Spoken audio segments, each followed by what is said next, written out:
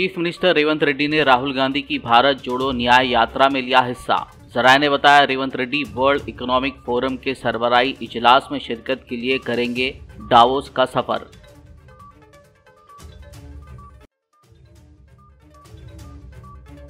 मरकजी वज़ीर किशन रेड्डी ने हैदराबाद के पीपल्स प्लाजा में मुनदा काइट फेस्टिवल में की शिरकत। ओबीसी मोर्चा कौमी सदर डॉक्टर के लक्ष्मण के अलावा, दीगर बीजेपी कायदीनों कारकुनान ने उड़ाई पतंग।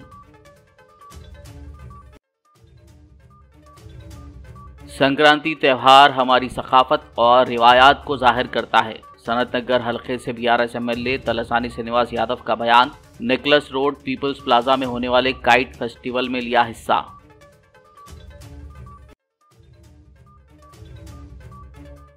तेलंगाना बीजेपी के गोशा महल एमएलए राजा सिंह को मौसू हुई धमकी आमेज फ़ोन।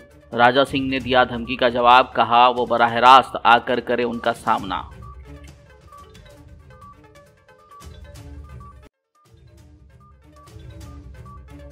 केसीआर कांग्रेस हुकूमत को गिराने के लिए कर रहे हैं बड़े पैमाने पर साजिश।